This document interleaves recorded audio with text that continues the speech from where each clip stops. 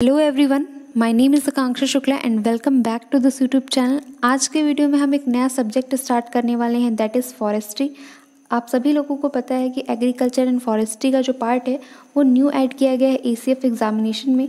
भले ही अभी एग्जामिनेशन में क्या है अनसर्टेनिटी है कि कब होगा बट आप लोगों को अपनी जो प्रिपरेशन है, उसको कंटिन्यू मेंटेन करना चाहिए। जो भी आप जैसा भी पढ़ रहे हैं, आप लोगों को कंटिन्यू पढ़ते रहना चाहिए।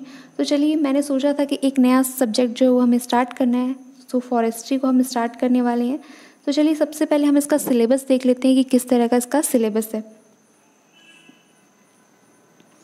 अगर आप इस सिलेबस को देखेंगे तो इसमें क्या है कि सारी चीज़ें थोड़ा इस वे में लिखी हुई है। इसको थोड़ा सा सिंप्लीफाई करके इसको वन बाय वन देखते हैं। तो सबसे पहले आप देखेंगे सिल्वी कल्चर जनरल। ठीक है, उसके बाद सिल्वी कल्चर सिस्टम। तो इस तरह से ये जो टॉपिक्स को अगर आप क्लासीफाई करेंगे तो टोटल मैंने यहाँ पे क्लासीफाई किया ट्वेंटी वन टॉपिक्स हैं। ये टॉपिक्स भले ही आप लोगों को देखने में थोड़े छोटे लग रहे हैं बट एक एक टॉपिक के अंदर क्या है कंटेंट बहुत सारा है। आप लोग मानिक नंद के मानिक नंदन बुक जो है, इसकी स्टैंडर्ड बुक उसको आप लोग यूज़ करेंगे तो आप लोगों के लिए अच्छा रहेगा, क्योंकि क्योंकि उसमें लगभग सारे ही टॉपिक्स जनरली दिए हुए हैं। तो उससे आप अगर करेंगे, भले आप इंग्लिश मीडियम से हैं हिंदी मीडियम से दोनों ही मीडियम अगर आप हिंदी मीडियम से अगर आपको पढ़ने में कोई तकलीफ़ नहीं हो रही तो आप बिल्कुल उसको यूज़ करें। अदरवाइज़ हिंदी मीडियम की जो लोकल कोचिंग्स की बुक आ रही हैं, उनको भी आप यूज़ कर सकते हैं।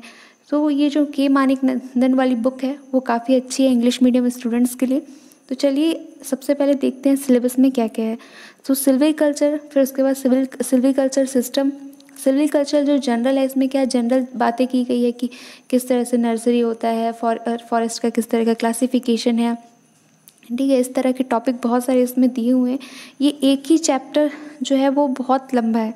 उसके बाद सेकेंड चैप्टर थर्ड चैप्टर हर एक चैप्टर क्या है, काफ़ी लंबा है। तो हम ये तो नहीं बोल सकते कि ये एक महीने में कंप्लीट हो जाएगा। इसमें क्या है टाइम टेकिंग सब्जेक्ट है। बट ये है कि हर एक दिन थोड़ा थोड़ा कवर करते हुए, एक दिन ये जो है टॉपिक वो कवर हो जाएगा। ऐसा नहीं है कि कर नहीं सकते। कभी ना कभी तो आप स्टार्ट करेंगे पढ़ना तो धीरे धीरे करके ही ये कंप्लीट होगा। अगर आप सोचेंगे कि एक दिन में आप दो चार चैप्टर पढ़ लें तो ये पॉसिबल नहीं है। हम इसको धीरे धीरे करके पढ़ते जाएँगे और वीडियो की जो फ्रिक्वेंसी है वो आप लोगों के इंटरेस्ट के ऊपर डिपेंड करेगा। मैं देखूँगी कि किस टाइप का वॉच टाइम है, किस टाइप का व्यूज़ है। उस हिसाब से वीडियो की फ्रिक्वेंसी रहेगी। अदरवाइज़ धीरे धीरे करके तो मैं इसको कंप्लीट करूँगी।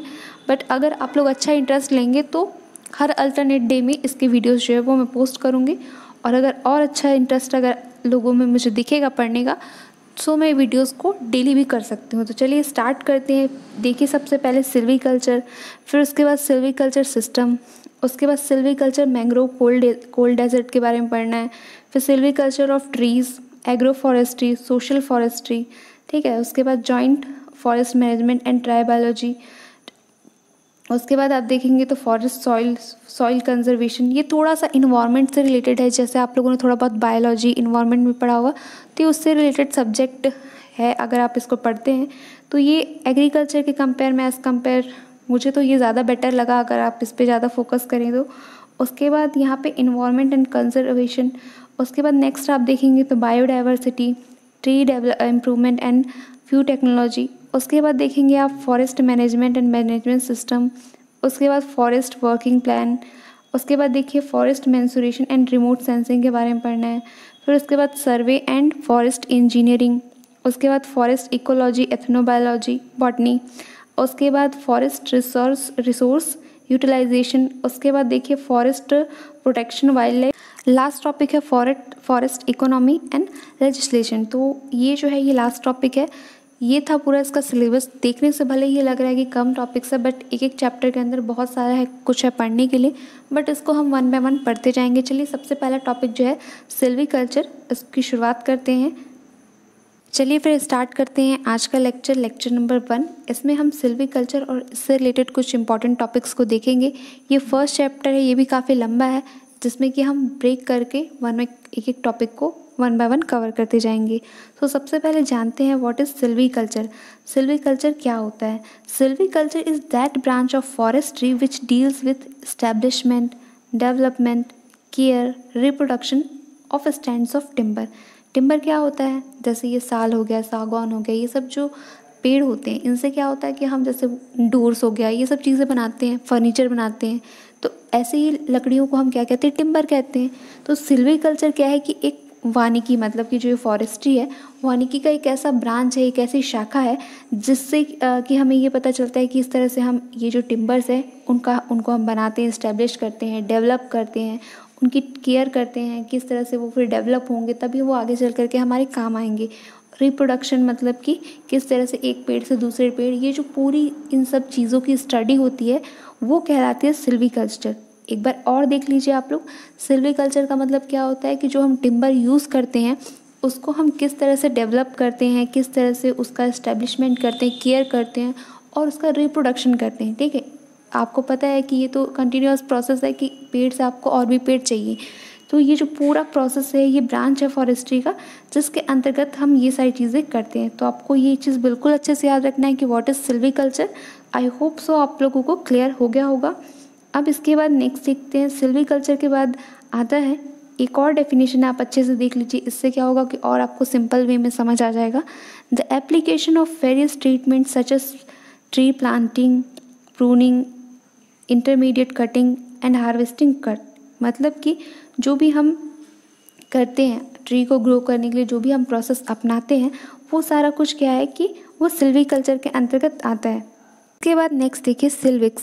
सिल्विक्स क्या होता है? Silvics is the study of life history and general characteristic of forest trees and crops with particular reference to environmental factor मतलब कि आप इसको ध्यान से समझिए कि सिल्विक्स क्या है? एक तरह से हम स्टडी करते हैं कि कोई भी ट्री है या फिर कोई भी क्रॉप है उसका एक पर्टिकुलर इन्वामेंटल फैक्टर को लेकर के कि ये जो है, ये पर्टिकुलर केस में किस तरह से बिहेव करेगा, इसका किस तरह से हमें ध्यान रखना चाहिए। तो यही हम इसको बेसिस बनाते हैं। आप ये समझ सकते हैं कि सिल्वी कल्चर क्या है, एक ब्रॉड टर्म है।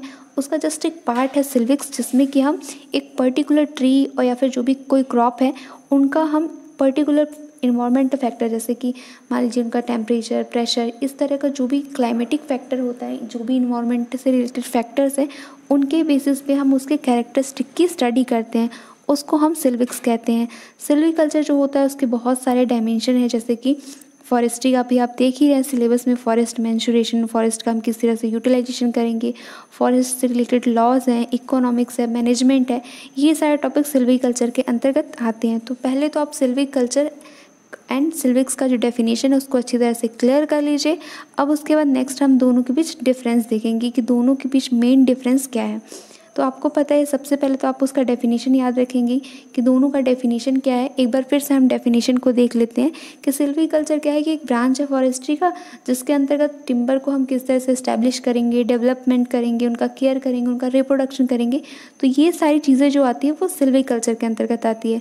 और ये जो सिल्विक्स है सिल्विक्स में क्या आता है कि हम एक पर्टिकुलर जो भी क्रॉप है या फिर जो फॉरेस्ट में ट्रीज़ पाए जाते हैं, उनका कैरेक्टरिस्टिक्स की हम स्टडी करते हैं कि वो पर्टिकुलर इन्वामेंट फैक्टर के रेफरेंस में जैसे कि कोई भी अगर मान लीजिए हम क्रॉप सेलेक्ट करते हैं, वो उसके रिगार्डिंग किस तरह का, उनका टेम्परेचर होना चाहिए, किस तरह का वेदर होना चाहिए जिसमें वो डेवलप करेंगे तो ये सब जो स्टडी होती है वो सिल्विक्स के अंतर्गत आती है। अगर आप देखें तो ये जो सिल्वी कल्चर होता है, एक ब्रॉड टर्म है, उसका जस्ट एक छोटा पार्ट है, ये सिल्विक्स। उसके बाद देखिए it is the science dealing with both theory and practice इसमें क्या है, सिल्वी कल्चर के अंदर हम थ्योरेटिकल चीज़ें भी पढ़ते हैं और उसको हम एक्चुअल में प्रैक्टिस भी करते हैं। इसमें अगर आप देखें तो ये जस्ट बेसिक प्रिंसिपल है जो कि सिल्वी कल्चर में काम आता है। ठीक है? उसके बाद नेक्स्ट अगर आप देखेंगे तो it deals with procedure of receiving natural regeneration under various system and methods of tending and of young crop crops मतलब कि ये जनरली डील करता है कि किस तरह से हम नेचुरल रिजनरेशन करेंगे। आप लोगों ने अभी देखा ना कि टिम्बर का रिप्रोडक्शन भी ज़रूरी है तो ये सारी चीज़ों की स्टडी क्या कहलाती है? सिल्वीकल्चर लेकिन इसमें क्या होता है कि हम जो ट्रीज़ की स्टडी होती है, उसको हम biological unit government laws governing the growth and effect इसके बाद नेक्स्ट देखिए ऑब्जेक्टिव्स ऑफ़ सिल्वीकल्चर ऑब्जेक्टिव्स का मतलब क्या होता है? कि हमारा एम क्या है? हम सिल्वीकल्चर की स्टडी कर रहे हैं, उसका हमारी लाइफ में क्या यूज़ है? सो हम देखेंगे कि हम इससे क्या क्या बेनिफिट जो है, वो कर सकते हैं। इसका पीछे हमारा उद्देश्य क्या है? सिल्वी कल्चर की स्टडी करने के लिए। तो सबसे पहले देखिए कि higher volume per unit area यानी कि जो भी हम प्रोडक्शन कर जो भी हम टिम्बर उगाना चाह रहे हैं, वो पर यूनिट एरिया में ज़्यादा से ज़्यादा हम मैक्सिमम ले सकें। यानी कि जो भी हमारा प्रोडक्शन है, उसको हम और अच्छे से बढ़ा सकें। उसके बाद देखिए, जो टिम्बर है, वो उसकी क्वालिटी सुपीरियर ठीक है? Production of superior quality timber इस, अगर हम उसके बारे में डेवलपमेंट के बारे में किस तरह से टिम्बर्स को हम और अच्छा उनकी क्वालिटी को इम्प्रूव कर सकते हैं, अगर हम ये सब स्टडी कर लेंगे तो इससे हम टिम्बर की क्वालिटी जो है, वो बढ़ा सकते हैं।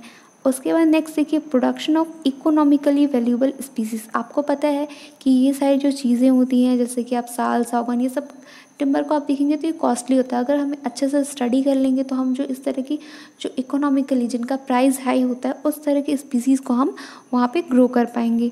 उसके बाद नेक्स्ट देखिए reducing the rotation of species. आपको पता है कि एक ही तरह की स्पीसीज़ उगाने से क्या होता है? ज़मीन की फर्टिलिटी पे भी इफ़ेक्ट पड़ता है। तो अगर हम अच्छे से स्टडीज़ कर लेंगे तो रोटेशन ऑफ़ स्पीसीज़ को भी हमें क्या है? कम करना पड़ेगा। उसके बाद देखिए अफॉरेस्टेशन एंड रिफॉरेस्टेशन आपको पता है कि अफॉरेस्टेशन एंड रिफॉरेस्टेशन में डिफरेंस क्या होता है?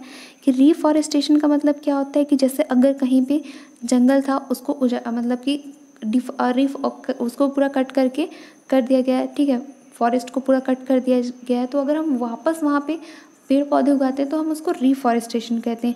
अफॉरेस्टेशन मतलब क्या होता है कि जैसे कोई कोई खाली जगह है, उसमें हम क्या करते हैं, पेड़ों को उगाते हैं तो वो अफॉरेस्टेशन के अंतर्गत आता है। तो आप इस चीज़ को ध्यान में रखिएगा।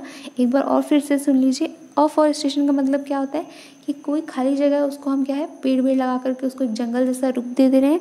लेकिन रिफॉरेस्टेशन का मतलब क्या होता है कि जैसे कहीं पे डिफॉरेस्टेशन हो गया, कहीं पे जंगलों की कटाई हो चुकी है तो हम वहाँ पे उसको वापस से मेंटेन करते हैं, वापस से फॉरेस्ट की तरह बनाते हैं तो उसको रिफॉरेस्टेशन कहते हैं। उसके बाद अगर आप लास्ट देखेंगे इंट्रोडक्शन ऑफ़ एग्जॉटिक मतलब कि कोई नया चीज़ है, उस चीज़ को हम इंट्रोड्यूस कर सकते हैं, अगर हमें सिल्वी कल्चर के बारे में बहुत अच्छे से जानकारी है तो ये कुछ ऑब्जेक्टिव्स हैं सिल्वी कल्चर के, जिसको कि आप लोगों को याद रखना है। हिंदी मीडियम वाले आप यहाँ से देख सकते हैं, यहाँ पे हिंदी में दिया हुआ है सो आप इसको रीड करें और अच्छी तरह से आप लोग समझें। उसके बाद नेक्स्ट देखिए ट्री डेवलपमेंट ट्री डेवलपमेंट का मतलब क्या होता है कि पेड़ों का विकास. आपको पता है, एक छोटे से बीज से क्या होता है, आप देखते हैं तो पूरा पेड़ जो है उस तरह का डेवलप हो जाता है. ये काफ़ी लॉन्ग प्रोसेस है, काफ़ी साल लगते हैं. तो सबसे पहले देखिए ट्री का डेवलपमेंट किस तरीके से होता है, इसके बारे में हम थोड़ा सा जानकारी जो है ले लेते हैं. Development of tree starts from germination of seeds to harvest जैसे आप देखेंगे, ज़मीन के अंदर आपने मान लो कि कोई भी बीज है आपने लगाया धीरे से इसके में क्या है छोटा सा अंकुर मतलब कि छोटा सा सैपलिंग इस तरह का आता है, फिर उसके बाद धीरे से ये प्लांट बनता है, फिर धीरे धीरे करके ये ट्री बनता है। इस तरह की पूरी प्रोसेस जो है वो चलती है। तो आप देखिए, पहले जो स्टेज होता है सीडलिंग मतलब कि आपने सीड डाला, उसके बाद सैपलिंग मतलब कि छोटा सा पौधा जो है वो निकला, ठीक है? फिर उसके बाद फाइनली जा कर के आगे चल कर के ये ट्री बनता है। तो सीडलिंग जो होता है, उसको हम क्या कह सकते हैं कि जैसे ये छोटा सा प्लांट है जो कि वन मीटर हाइट का बन गया है। उसके बाद सैपलिंग का मतलब क्या होता है कि एक तरह से उसका जो ग्रोथ है, वो थोड़ा हो चुका है और उसका जो ग्रोथ है, वो थोड़ा सा स्लो डाउन हो चुका है, ठीक है? सैपलिंग का मतलब उसके बाद ट्री जो होता है, आपको पता है कि इसकी हाइट बहुत ज़्यादा हो जाती है। ट्री आप लोग को डिफ़ाइन करने की ज़रूरत नहीं है कि ट्री किस तरीके का होता है। तो आप तीन जो स्टेजेस होते हैं, उसको आप अच्छी तरह से समझ लीजिए कि सीडलिंग का मतलब क्या जैसे आपने सीड डाला, उसके बाद छोटा सा वो वन मीटर हाइट का प्लांट जो है, वो बन गया। उसके बाद सैपलिंग का मतलब क्या होता है कि वो थोड़ा उसकी ग्रोथ में क्या हो गया कि थोड़ा सा स्लो हो गया। आपको पता है कि जैसे प्लांट जब छोटा होता है तो वो जल्दी जल्दी ग्रो करता है, लेकिन एक टाइम आ जाता है जब वो सैपलिंग ठीक है, उसको हम फिर कहीं भी ले जा सकते हैं। आप लोग देखते हैं ना कि कहीं भी प्लांटेशन होता है तो हम बोलते हैं, इतने सैपलिंग चाहिए प्लांट्स का। तो उस तरीके से आप ये सीडलिंग सैपलिंग एंड ट्री का डेफिनेशन आप लोग अच्छी तरह से समझ लीजिए कि किस तरह से ये सीडलिंग सैपलिंग एंड ट्री जो है ये ट्री डेवलपमेंट का तीन प्रोसेस है, तीन स्टेजेस है। उसके बाद नेक्स्ट देखिए प्लांट का हम क्लासिफिकेशन देखेंगे। प्लांट को हम किस तरह से क्लासीफाई कर सकते हैं? सबसे पहले ट्रीज़ को देखिए। ट्रीज़ को तो आप लोगों को बताने की ज़रूरत नहीं है। ट्रीज़ कैसा दिखता है? आप अपने आसपास सभी जगह सभी जगह ये देखते हैं। उसके बाद देखिए श्रब श्रब्स का मतलब क्या होता है कि इस तरह की झाड़ी। आप लोग देखेंगे तो जनरली फ्लावर्स जो होते हैं वो कुछ इस प्रकार के दिखते हैं। उसके बाद हर्ब्स को आप देखेंगे तो हर्ब्स का मतलब क्या होता है कि कुछ इस तरह के इनका ग्रीन एक जो इनका स्टेम होता है, ये जो आप पोर्शन देख रहे हैं, ये ग्रीन रहता है और ये हर्ब्स ठीक है लाइक अगर आप ऐसे नॉर्मली एग्जांपल्स देखें तो जैसे, ठीक है, तुलसी हो गया, पुदीना हो गया, ये सब क्या होता है हर्ब्स के अंतर्गत आता है। क्रीपर्स क्रीपर्स का मतलब जैसे आप लोग मान लीजिए वाटरमेलन हो गया, ठीक है पम्पकिन हो गया, इस तरह का जो भी प्लांट रहता है, वो क्रीपर्स के अंतर्गत आता है।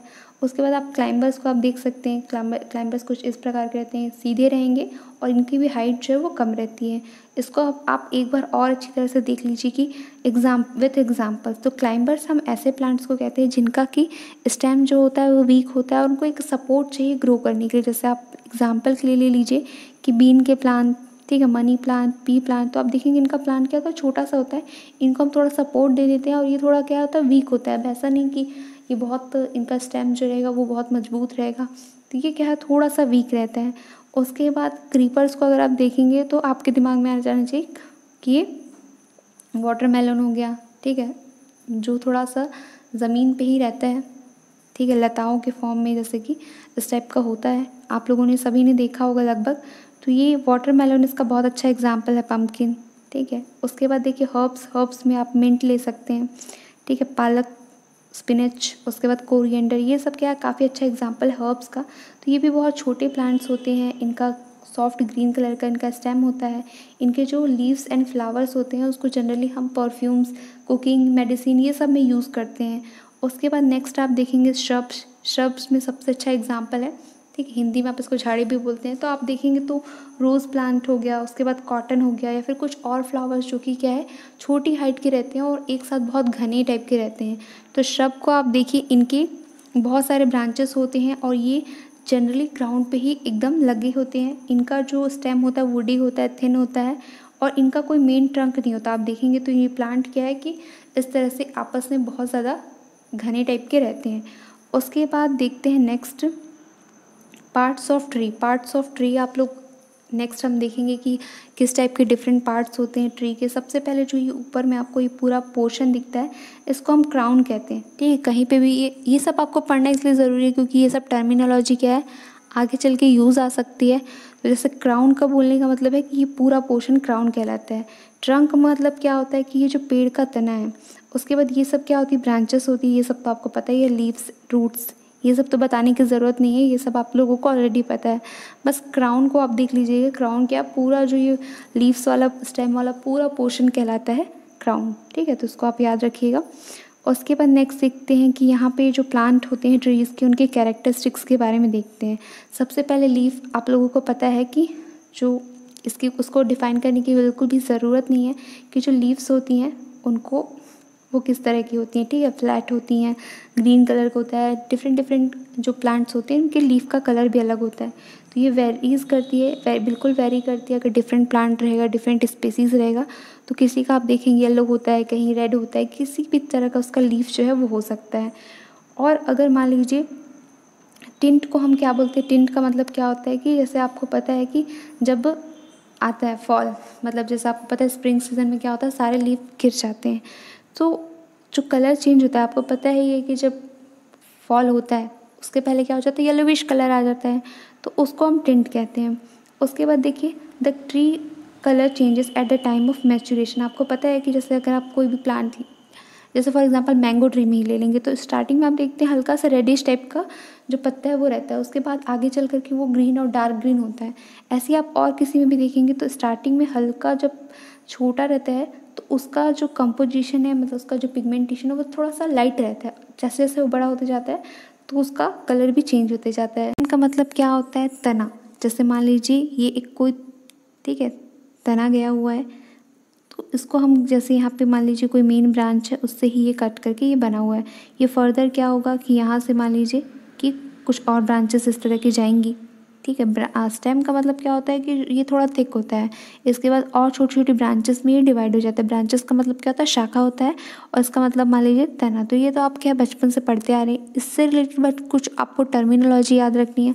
और ये चीज़ आप याद रखिएगा स्टेम हम ऐसे बोल सकते हैं कि एक प्रिंसिपल एक्सिस है जहाँ से कि नए बर्ड्स और शूट शूट्स का मतलब क्या होता है कि जैसे कुछ नया अंकुर, कुछ नया पार्ट जहाँ से उग सकता है। उसके बाद देखिए यहाँ पे बोल बोल का मतलब क्या होता है? इसको अगर आप पढ़ेंगे तो बिल्कुल अच्छी तरह से आप लोगों को क्लियर हो जाएगा। जैसे मान लीजिए यहाँ से पे ये स्टेम जो है वो है, ठीक है? ये, यहाँ से इसका जो ये लोअर पार्ट है और जहाँ से मेन ब्रांच क्या है? गिव ऑफ़ मतलब कि जहाँ से ये न्यू ब्रांच निकला हुआ है। तो इस डिस्टेंस को आप क्या कहेंगे? इस पोर्शन को आप कह सकते हैं बोल उसके बाद आप लोगों को पता है कि जैसे कोई भी स्टेम है, वो शुरू में क्या होता है कि थोड़ा उसका थिकनेस रहता है, फिर उसके बाद धीरे धीरे उसका जो डायमीटर है, वो कम होता जाता है। तो इसको हम क्या कहते हैं? टैपर कहते हैं। आप लोगों ने अगर कोई टेक्निकल सब्जेक्ट पढ़ा है मॉस या सॉम, इस सब में भी क्या होता है कि टेपरिंग, ठीक है, टैपर सिलेंडर, इस टाइप का होता है कि जैसे यहाँ का जो डायमीटर है एज़ कंपेयर टू यहाँ के डायमीटर से, ठीक है, इस तरह से डिक्रीज़ होता जाता है। तो उसको हम क्या कहते हैं? टैपरिंग रॉड कहते हैं, इस तरह का आप कह सकते हैं। उसके बाद नेक्स्ट देखिए यहाँ पे आप लोग को ये चीज़ याद रखना है कि जो लीस्ट जितना टैपर टैपरिंग उसका कम होगा, उतना ज़्यादा उसको हम प्रेफर करेंगे। क्योंकि अगर सिलेंड्रिकल है तो ये हम ज़्यादा अच्छा रहेगा हमारे लिए, हम इसको कहीं भी यूज़ कर सकते हैं। टिम्बर का आपको पता है कि जितना वो, उसमें अनड्यूलेशन कम रहेगा। अनड्यूलेशन का मतलब कि थोड़ा ये जितना अच्छा स्ट्रेट रहेगा, उतना हमारे लिए अच्छा है। उसके बाद नेक्स्ट देखिए फ्लटिंग इसका मतलब क्या होता है? इरेगुलर स्वेलिंग एंड इनवोल्यूशन जैसे मान लीजिए कोई है, यहाँ पे मान लीजिए टिम्बर है, उसमें कहीं कहीं पे अनड्यूलेशन है, ठीक है? इरेगुलर यहाँ पे स्वेलिंग है, कहीं पे उभरा हुआ है, कहीं पे कम है, इस टाइप का तो ये थोड़ा अनफेवरेबल हो जाता है। तो इसका मतलब भी आप अच्छे से याद रखिएगा। इससे क्या होता है कि जो टिम्बर की यूटिलिटी है वो डिक्रीज़ होती है, ठीक है? इसको क्या है? अनफेवरेबल माना जाता है। तो ये चीज़ आप अच्छे से याद रखिएगा स्टेम से रिलेटेड जो बातें हैं। उसके बाद नेक्स्ट देखिए क्राउन क्राउन आप लोगों को मैंने ऑलरेडी बताया था कि जो अपर में ये पूरा ये होता है, ठीक है? अपर का ये जो पूरा स्ट्रक्चर है, किसी भी ट्री का, इसको हम क्राउन कहते हैं। तो क्राउन का जो डेवलपमेंट है, उसको हम किस तरह से डिफाइन करते हैं, उसको हम ये देख करके बताते हैं कि इसका वेथ कैसा है, इसका लेंथ कैसा है। तो ये सब देख करके हम अच्छी तरह से इसको डिफाइन करते हैं कि किस तरह से क्राउन का डेवलपमेंट तो क्राउन का डेवलपमेंट हम इस तरह से इसको डिफाइन करते हैं इसका लेंथ और विथ जो है वो कितना है। उसके बाद नेक्स्ट देखते हैं रूट्स रूट्स आप सभी को पता है कि जो ज़मीन के अंदर, ठीक है, ये स्ट्रक्चर होता है। रूट्स का काफ़ी इंपॉर्टेंट रोल है किसी भी ट्री में, क्योंकि यही है, यही जो सॉइल से मिनरल्स और जो वाटर होता है, उसको एब्जॉर्ब करता है। ठीक है तो देखिए ये क्या है? एक ऑर्गन है प्लांट का जो कि जनरली सरफेस के बिलो लाई करता है, कहीं कहीं पे सरफेस के ऊपर भी रहता है, उसको हम एरियल कहते हैं और अगर जनरली अगर वाटर के ऊपर है तो उसको हम एरेटिंग कहते हैं। उसके बाद जो ये रूट्स होता है, अगर हम उसको डिफाइन करना चाहें तो ये जनरली ऐसा पार्ट है बॉडी का मतलब प्लांट का प्लांट बॉडी का जिसमें कि कोई लीव्स नहीं होता और उसमें कोई नोट्स भी नहीं होते। नोट्स का मतलब कि जैसे इस तरह का बना होता है, ठीक है नोट्स तो ऐसा इसमें नहीं होता, ये क्या है रेगुलर टाइप का स्ट्रक्चर होता है। उसके बाद रूट्स में क्या होते हैं कि प्राइमरी एंड सेकेंडरी दो टाइप के होते हैं। प्राइमरी एंड सेकेंडरी प्राइमरी आप ऐसे इसको अगर आप सिंपली समझें, जैसे मान लीजिए ये रूट गया हुआ है तो ये क्या हो गया? कि ये प्राइमरी हो गया। इससे भी क्या होता है छोटे छोटे रूट्स जाते हैं तो ये क्या हो गया? सेकेंडरी रूट्स हो जाते हैं। इसको हम लेटरल रूट्स भी कहते हैं।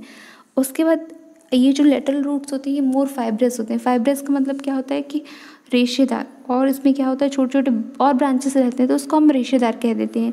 तो ये आप इसके बारे में याद रखिएगा।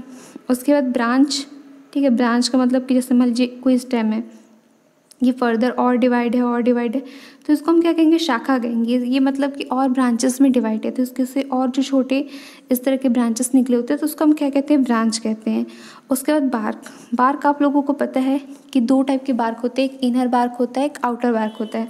तो उसको आप फिगर में देखेंगे तो आप लोगों को और अच्छी तरह से समझ आ जाएगा कि जैसे बार्क अगर आप जैसे मान लीजिए क्रॉस सेक्शन लेते हैं क्रॉस सेक्शन का मतलब आप सबको पता है कि जैसे मान लीजिए ये टिम्बर है, ठीक है प्लांट का मान लीजिए ये कोई ठीक है वुडन है, उसका अगर हम क्रॉस सेक्शन एरिया लेते हैं, ये क्रॉस सेक्शन हो गया, यहाँ पे पीछे फिगर भी है, इसको ही हम देख लेते हैं तो ये है, ये होता है आउटर बार कि मतलब जो सबसे बाहर का ये सर्कुलर लेयर है, इसके बाद, ठीक है, इसके अंदर जो होता है, वो होता है इनर बार ठीक है, ये जो स्ट्रक्चर है, इसको आप अच्छे से याद रखिएगा उसके बाद ये जो आपको इस तरह के स्ट्रक्चर दिख रहे हैं, इसको हम कैम्बियम लेयर कहते हैं। कैम्बियम लेयर क्या करता है कि मतलब ये एक तरह से समझ लीजिए फ्रेम को मेंटेन करके रखता है कि ये जैसे आपको इस टाइप के लाइंस दिख रहे हैं ना, ये कैम्बियम लेयर होता है। उसके बाद यहाँ पे जो सबसे अंदर में ये सर्कुलर होता है, इसको पिथ कहते हैं। समझ लीजिए एक तरह से ये सेंटर है। उसके बाद ग्रोथ रिंग इसको हम एनुअलर रिंग भी कहते हैं। ये जितने नंबर ऑफ़ रिंग्स होंगे, वो उसकी एज बताता है। किसी भी टिम्बर की, किसी भी ट्री की वो एज बताता है कि वो ए, कितना पुराना है। ठीक है, जितने ज़्यादा रिंग्स होंगे, उतना ज़्यादा उसका एज हो जाएगा। उसके बाद हार्ट वुड हार्ट आपको पता है कि बहुत अंदर होता है तो इससे भी आप समझ सकते हैं कि ये जो यहाँ पे अंदर का स्ट्रक्चर है, ठीक है, इसको हम हार्ट वुड कहते हैं। उसके बाद ये जो थोड़ा ये आउटर में है, इसको हम सैपोर्ट कहते हैं। तो आप लोगों को इसके बारे में ज़्यादा डिटेल में जाने की ज़रूरत नहीं है। आप बस इतना समझ लीजिए कि इसका जो पार्ट्स ऑफ़ अगर हम किसी ट्रंक का देखते हैं, किसी भी ट्रंक मतलब क्या है स्टेम ठीक है स्टेम आप समझ सकते हैं। सो so, ये कौन कौन से पार्ट्स कहाँ पे आते हैं इनका थोड़ा नेमिंग भी आप लोग अच्छे से क्लियर रखिएगा कि इसका इनर बार्क कहाँ है आउटर बार्क कहाँ है हार्टवुड कहाँ है। तो ये सब जो नेमिंग है उसको आप अच्छी तरह से ध्यान में रखिएगा। और उसके बाद बार्क के बारे में और कुछ इंपॉर्टेंट बातें देख लेते हैं। तो ये आउटर मोस्ट लेयर है ठीक है? आउटर मोस्ट लेयर अगर ये स्ट्रॉन्ग रहेगा तो क्या है? ट्री भी अच्छे से स्ट्रॉन्ग रह पाएगा। इसका ये वुडी स्ट्रक्चर होता है। उसके बाद inner bark and outer bark होता है, ये तो हम लोगों ने देख ही लिया। उसके बाद इनर पार्क जो होता है लिविंग टिश्यू होता है, ठीक है तो ये इनर मोस्ट एरिया में होता है। उसके बाद आउटर पार्क थोड़ा डार्क होता है और डेड टिश्यू ठीक है डेड टिश्यू मतलब कि जैसे आप देखते हैं तो वो क्या होता है, बाहर इन्वामेंट में रहता है, उसमें, ठीक है लिविंग वो नहीं रहता है। जैसे अंदर वाला आप देखेंगे तो ये थोड़ा क्या होता है, अंदर में वाटर ये सब प्रेजेंट रहता है तो इसके अंदर लिविंग टिश्यू पाए जाते हैं। उसके बाद अगर आप नेक्स्ट पॉइंट देखिए जो बार्क होता है स्मूथ एंड रफ अंदर वाला आप देखेंगे, थोड़ा स्मूथ रहता है। बाहर आप लोग देखते हैं ट्री को तो ये क्या होता है? रफ होता है टेक्सचर में। उसके बाद अपीयरेंस ठीक है अपीयरेंस जो होता है अपीयरेंस को भी हम देख करके बता देते हैं कई सारे ट्रीज़ का, कि इसका एज जो है वो कितना पुराना होगा। बार्क आप समझ सकते हैं, जैसे कि मान लीजिए अभी वो कम है तो वो क्या होगा? थोड़ा हल्का स्मूथ होगा, लेकिन उसको जितनी ज़्यादा एज एज होती जाएगी आउटर लेयर क्या होता है? उतना ज़्यादा हार्ड होता जाता है तो मेनली एनुलर रिंग को ही देख कर बताते हैं, लेकिन बार्क को भी देख करके कई ट्रीज़ में पता चलता है। ठीक है, इस वीडियो में इतना ही। आई होप सो आप लोगों को लेक्चर पसंद आया होगा। इसके बाद नेक्स्ट लेक्चर में हम नेक्स्ट टॉपिक कवर करेंगे प्लांट प्रोपागेशन प्लांट प्रोपागेशन का मतलब क्या होता है कि किस तरह से हम हमारे पास जो प्लांट्स हैं उनको हम और बढ़ा सकते हैं उनका रिप्रोडक्शन कर सकते हैं। इसके अंदर हम asexual and sexual reproduction पढ़ेंगे कि किस तरह से प्लांट्स को कटिंग ग्राफ्टिंग ये सब किया जाता है। सो so, बने रहिए इस लेक्चर सीरीज़ में नेक्स्ट लेक्चर में हम वो सारे टॉपिक्स कवर करेंगे। आज के लिए इतना ही। Thank you everyone